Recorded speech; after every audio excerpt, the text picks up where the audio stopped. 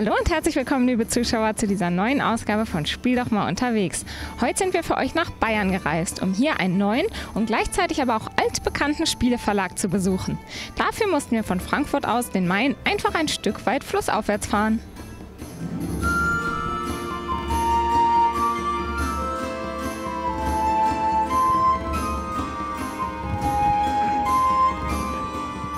In Unterfranken findet sich das um die 700 Jahre alte Miltenberg, die sogenannte Perle des Mainz. Die Stadt unter der Mildenburg hat nicht nur einen wunderschönen historischen Stadtkern, sondern mit dem Faustbier der Brauerei Faust ein Gerstensaft, der direkt in Miltenberg gebraut wird.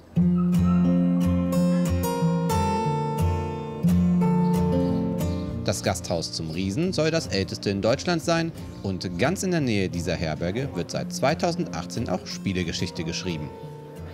Miltenberg ist nicht nur schön, sondern hier hinter mir im ersten Stock, da werden auch Spiele entwickelt. Denn hier befindet sich das neu gegründete Heidelberg Game Studio von Asmodee. Und ich treffe mich jetzt gleich mit dem Studioleiter Heiko Eller-Bilz.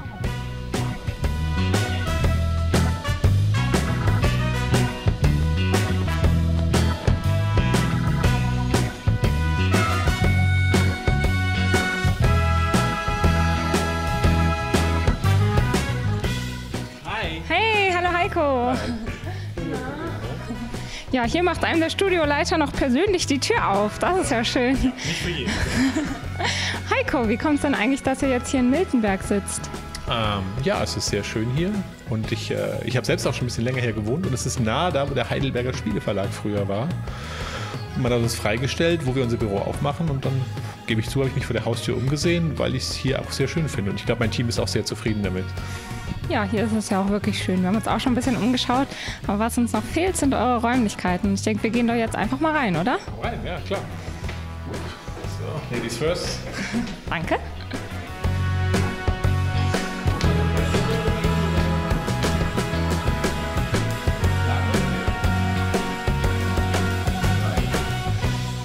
Ja, dann würde ich vorschlagen, du gehst mal vor und zeigst uns mal eure Räumlichkeiten. Ja klar, machen wir einen kurzen Rundgang. Ja?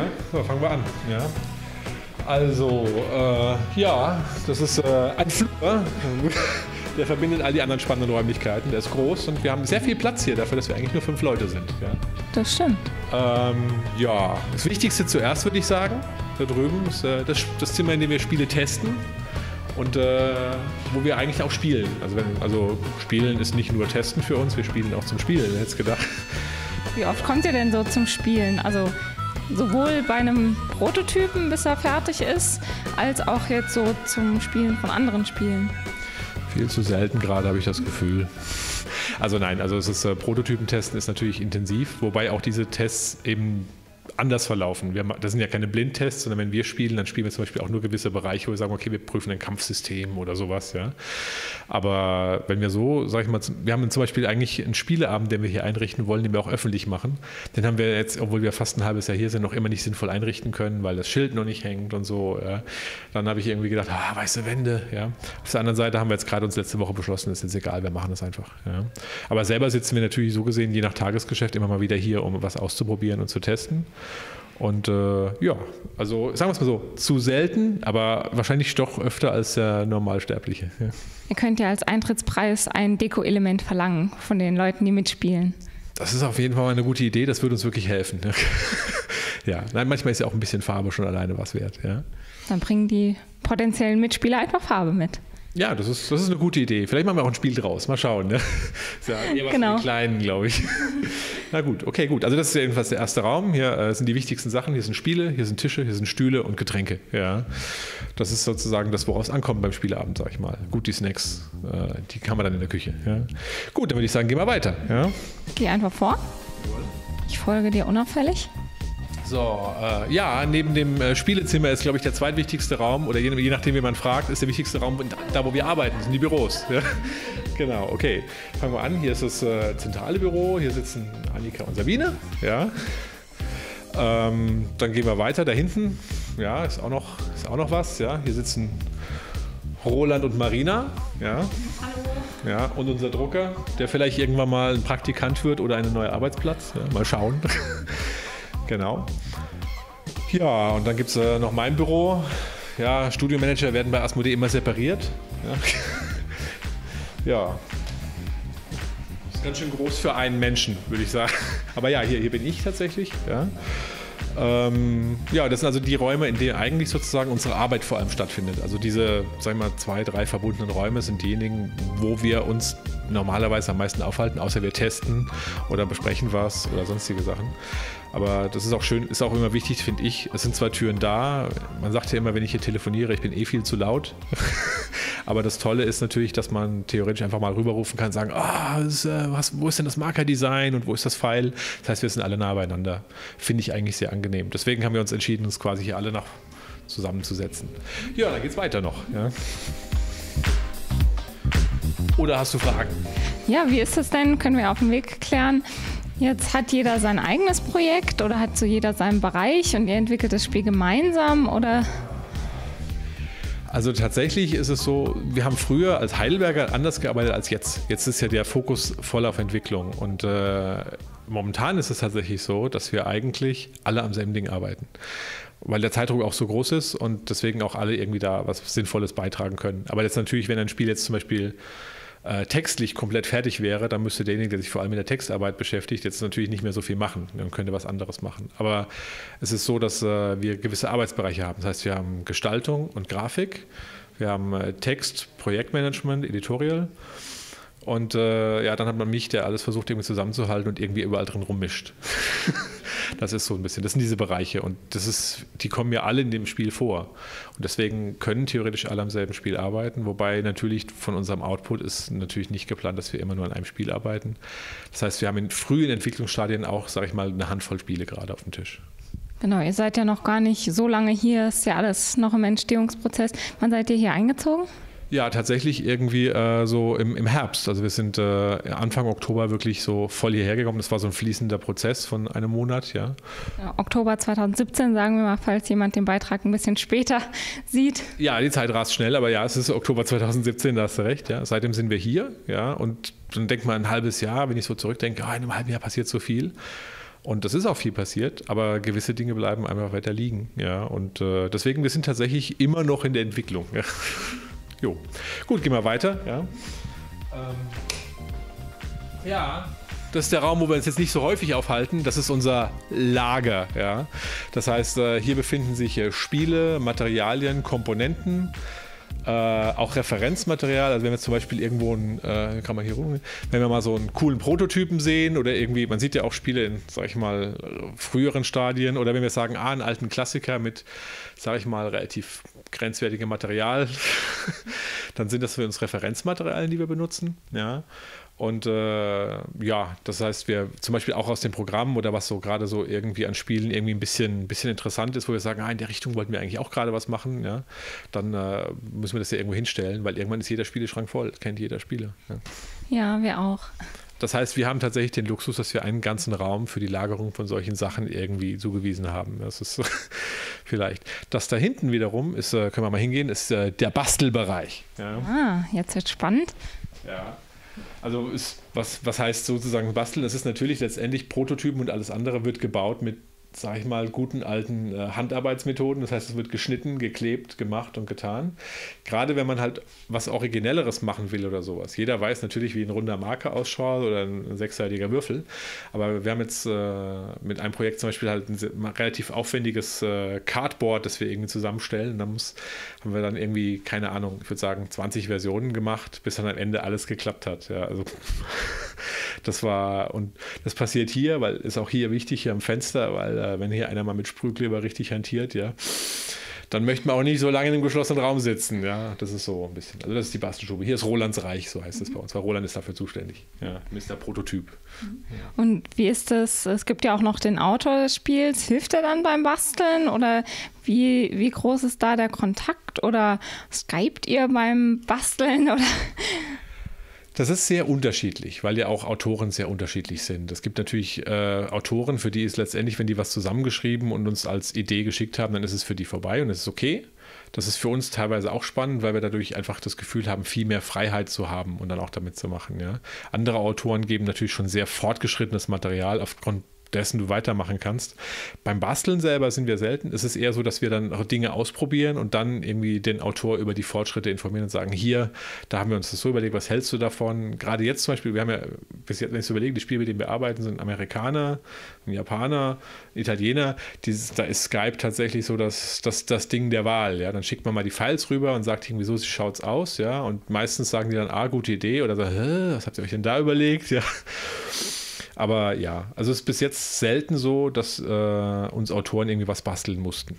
Ja, und das ist ja, ich weiß jetzt nicht genau, ich müsste jetzt müssen mal Roland mal fragen, ob ihm das viel Spaß macht, aber er macht das auch sehr gut. Und äh, ist, ich sag mal, fürs handwerkliche Geschick nicht schlecht. Wir werden ihn gleich fragen. Ähm, ja, Gut, gehen wir weiter. weiter. Ja, es, ist, äh, es gibt noch einen Raum, zwei so gesehen. Ne? Flur haben wir ja schon gesehen, der ist für nichts gut. Äh, für unsere Gäste natürlich, wenn sie sich irgendwie ausruhen möchten, haben wir eine Couch. ja, aber oder für euch, wenn es ein harter Tag war. Ja, in der Tat würde ich sagen, es hat schon der eine oder andere auf dieser Couch mal irgendwie gelegen, um sich ein bisschen auszuruhen. Also wenn es Stress ist oder sowas. Und Menschen sind vor nichts gefeit. Ja. Wir haben das Glück hier, dass unsere Räumlichkeiten äh, trotz Altbau ein angenehmes Klima haben. Das heißt, irgendwie äh, im Sommer ist es hier auch sehr schön. Das ist andere haben wir dieses Glück nicht. so weiter. Aber gut, gehen wir weiter. Ähm, ein ganz wichtiger Raum in jedem Büro ist die Küche. Ja.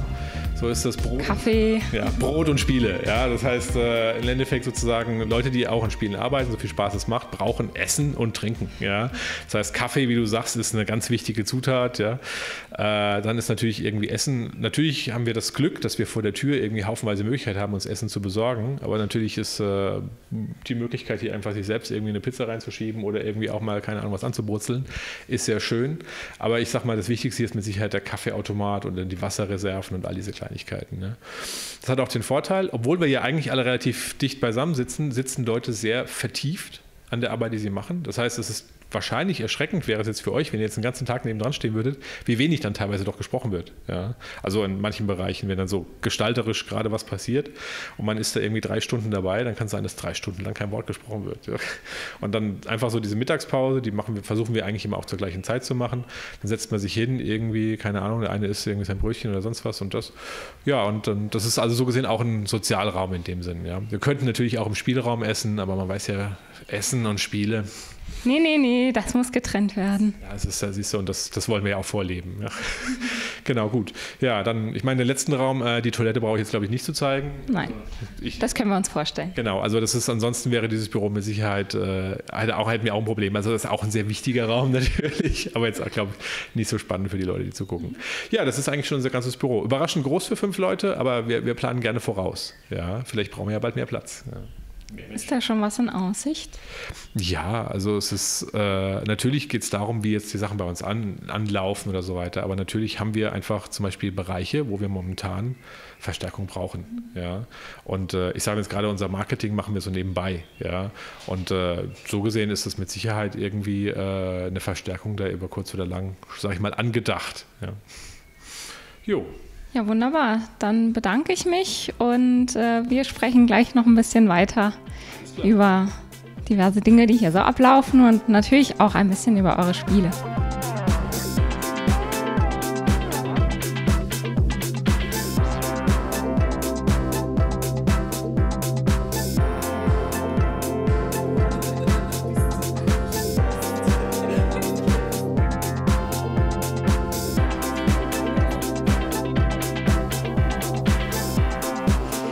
Heiko haben wir jetzt schon ein bisschen kennengelernt und den kennt ihr ja auch schon ein bisschen aus den anderen Interviews, die wir gesendet haben. Und jetzt wollen wir mal hier ein bisschen rumgehen und die anderen Mitarbeiter näher kennenlernen.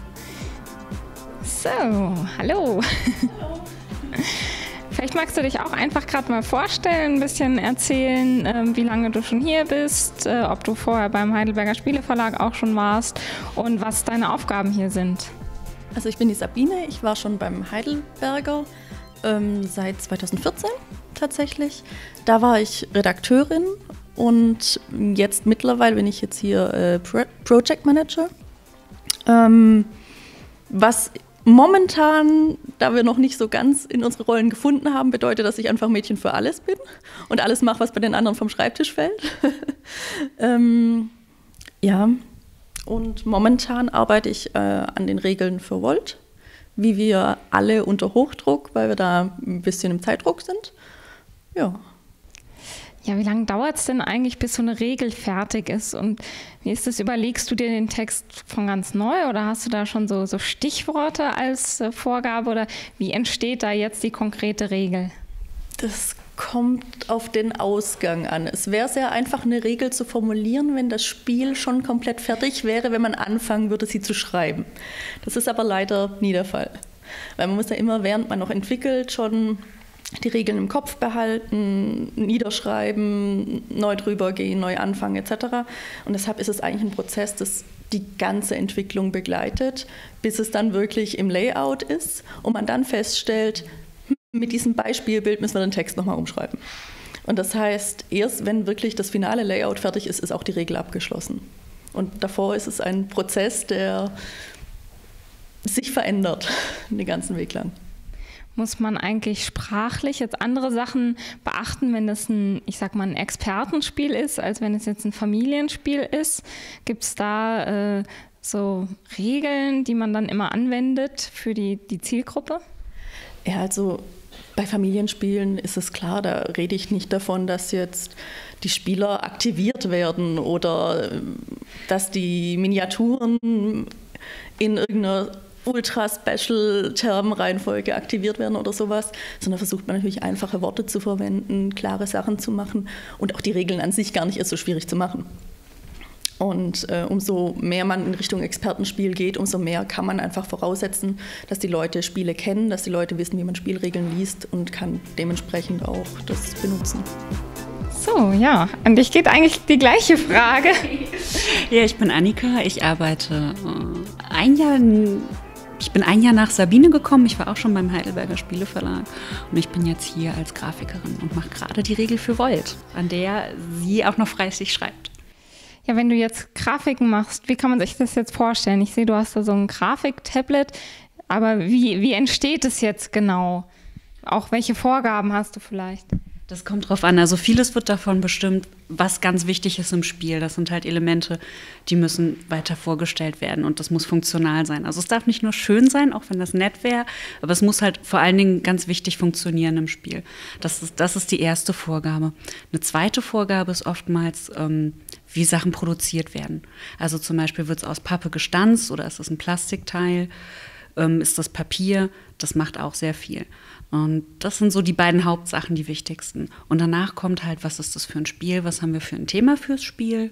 Und dann sprechen wir uns eigentlich immer alle zusammen ab mit dem Team und gucken, was für Elemente gefallen und so. Zum Beispiel bei ähm, Volt haben wir jetzt hier diese kleinen Kreise, die wir überall benutzen, auch für Erklärungen und für Pfeile, um zu zeigen, was passiert. Ähm, die sind entstanden eigentlich von Plantin. Da hat Marina eine Grafik gefunden und gesagt, oh, guck mal, das ist total super. Und das heißt, die findet man im Spiel immer wieder im Hintergrund. Also die tauchen dann auf und das ist wie diese kleinen Platinenplatten, die man so kennt. Das ist eine Sache. Das heißt, wir versuchen also auch immer die Spiele optisch zusammenzufassen, dass man sieht, okay, dieses Element muss auf jeden Fall aus diesem Spiel kommen. Das sind so die meisten Sachen. Wie lange dauert es jetzt so, bis eine fertige Grafik entsteht? Mm, kommt drauf an. Also das kann je nachdem, wie oft sie geändert wird, das ist ganz wichtig, weil manchmal entwickeln sich Sachen auch anders, dann hat man was fertig und dann sagt, okay, aber der Spielablauf verändert sich, dann fängt man von vorn an. Generell mh, mm, hängt es immer ein bisschen davon ab, was es ist. Für eine Regel von vier Seiten ungefähr, wenn wir alles zusammentragen und die Bilder machen, brauche ich ungefähr eine Woche für einen Marker, je nachdem, also wenn das jetzt so ein kleines Element ist, ein paar Stunden oder einen Tag, je nachdem, wie kompliziert das ist und wie viele Versuche man braucht, bis man was findet, was einem gefällt. Und dann ähm, zeigst du das hier im Team und dann wird abgestimmt. Oder machst du immer gleich mehrere Varianten und sagst hier, das und das und das habe ich mir überlegt? Oder machst du einen und zeigst dann hier, das ist jetzt mein Vorschlag? Das kommt drauf an. Also wenn manche Sachen schon fest sind, dann wurde früher drüber gesprochen und dann heißt es, okay, das ist die Regel. So machen wir das jetzt für alle Marker. Da muss ich nicht mit jedem einzelnen Marker kommen. Am Ende zeigen wir es Heiko und der sagt dann ja oder nein, weil er ist der Studiomanager. und, ähm, aber wenn es Sachen sind, wo wir noch nicht ganz wissen, in welche Richtung das geht, dann werden halt verschiedene Varianten gemacht und dann sagen wir, okay, wir gehen eher in die Richtung und gucken, was, äh, das gut ist und funktioniert, oder wir gehen eher in die Richtung. Je nachdem. Wunderbar, danke. Ja, auch an dich die Frage, ob du dich kurz vorstellen kannst, sagst, äh, ob du auch schon beim Heidelberger Spieleverlag dabei warst, äh, seit wann du hier arbeitest und was hier deine Aufgaben sind. Also ich bin der Roland Gossler, ich bin seit, na, bin seit ist doof. Vor 15 Jahren habe ich angefangen Spiele zu machen. Ich bin hier als Spieleentwickler jetzt in dem Studio. Und vorher war ich auch schon Spieleentwickler die letzten zweieinhalb Jahre beim, also habe ich angefangen beim Heidelberger und ich bin auch vor 15 Jahren habe ich schon zusammengearbeitet mit dem Harald und mit dem Heiko und mit all denen und jetzt gucken wir, wie es hier weitergeht. Und wir haben gehört, du bastelst gerne. Ich bastel, ich, ich muss dann immer basteln. Ja.